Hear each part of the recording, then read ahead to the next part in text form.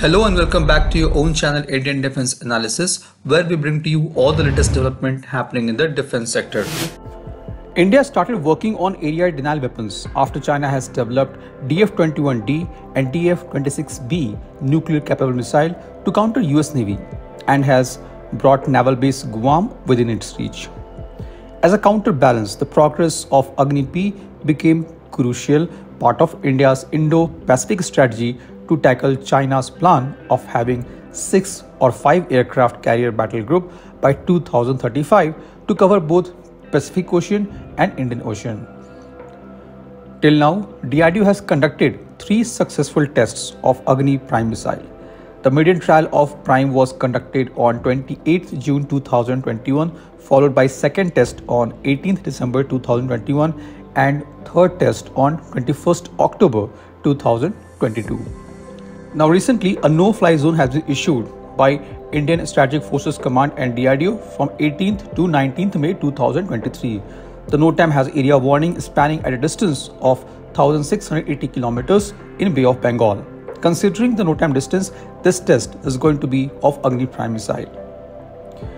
Now talking about Agni Prime, it is a two-stage solid propellant ballistic missile with a dual redundant navigation and guidance system. It features a ring laser based gyro inertial navigation system and a modern micro navigation system borrowed from Agni 5. The missile has range between 1000 to 2000 km and features all composite structure including the casing which significantly reduces its weight and considerably improves its range.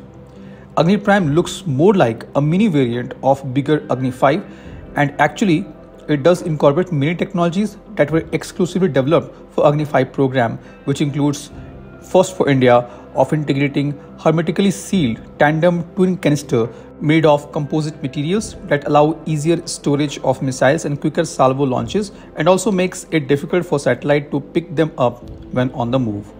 Now since Agni Prime is a canister launch missile, it can be stored for a longer period and can be transported across the country via rail, road or as per the operational requirements.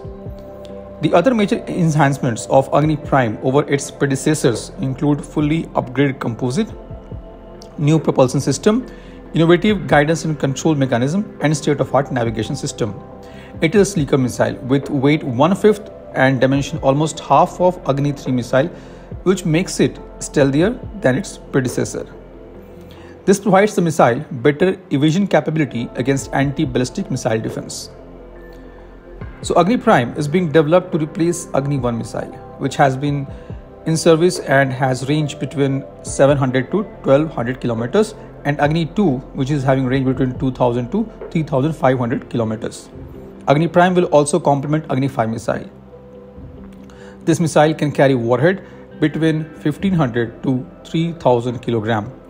A notable feature of Agni Prime is four delta fins for terminal maneuver which can defeat ballistic missile defense system and can also be used as anti-ship ballistic missile when a new variant is developed based on the Agni Prime missile.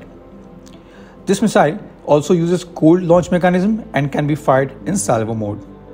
DRDO is working on a 1500 km range conventionally armed ballistic missile with an anti-ship capability and it is expected to be based on Agni Prime.